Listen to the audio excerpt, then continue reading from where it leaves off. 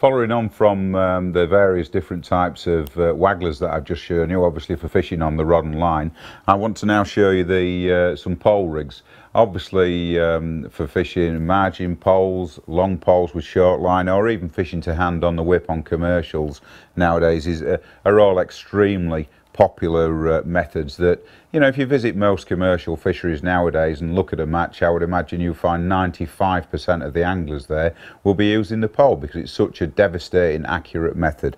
For that reason, um, we wanted to produce our own range of pole rigs, again under the Stillwater banner, and we wanted and we're insistent that um, that we made sure that our pole rigs under our brand were uh, the best quality you could possibly get. For that reason, it, it took a long time to develop these, to uh, produce the packaging, to insist on, on, on, all the features that are very, very important in a well-made pole rig. Um, just to concentrate, I'll show you the packaging initially. As you can see, the line diameters, hook sizes and length of rig are all shown on the packaging on the front. Of course, you can clearly see the actual shape of the pole float on the on the winder there. But if you turn the packaging over, there's some simple and ex simple explanations and even four different um, ways that the rig can be fished on each one of the uh, the pole rigs. There are um, many many different um, shapes of float and, and style of rig available in the range, but they all share the same build quality ethic, some of which I'd like to, uh, to show you, because they all are very, very important things that you should look for in, in any pole rig, and in fact any pole rig that you would make at home yourself if you make your own.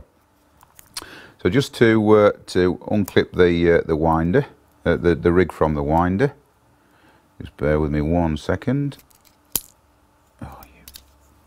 There we go. Right, the first thing I'd like to, to point out is we were insistent that every single rig was made with three, three rubbers on the stem. That's critical to avoid the stem bending and breaking.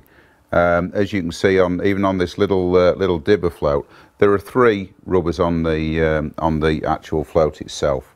This is a very very light rig indeed. It's actually a 0.1 of a gram rig. Now I, I hope you can see on there but there are no, we were insistent again that no shot should actually be put on the hook length.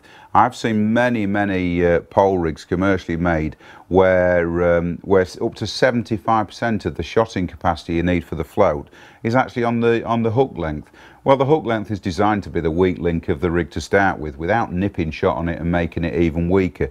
Of course, if you lose a fish the first cast and 75% of your shot shotting capacities on your hook length, then that pretty much renders the um, renders the rig useless for, for anybody who struggles with tiny size 8 or size 10 shot. So um, just to recap that, there are no shot whatsoever on the hook length. Uh, the shot are all on the main line. We use three rubbers on the floats and it goes with, well, I hope it goes without saying that every single hook that's used is a high quality barbless hook suitable for any commercial fishery. So that's a, a brief um, presentation of the Stillwater pole rigs, which um, which retail at £2.50 each, so a significant saving on uh, what you'll pay for a lot of uh, ready-made pole rigs.